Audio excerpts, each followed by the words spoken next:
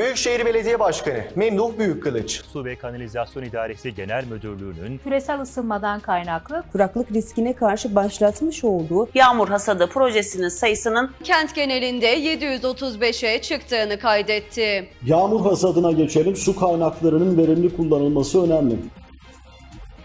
Büyükşehir Belediyesi Su ve Kanalizasyon İdaresi Genel Müdürlüğü yaptığı çalışmalarla suyun doğru kullanılması, tasarruf tedbirleri gibi konularda önemli çalışmalara imza atarken, dünya genelinde iklim kriziyle yaşanabilecek kuraklık tehlikesine karşı başlatılan yağmur hasadı projelerinin sayısını her geçen gün arttırıyor.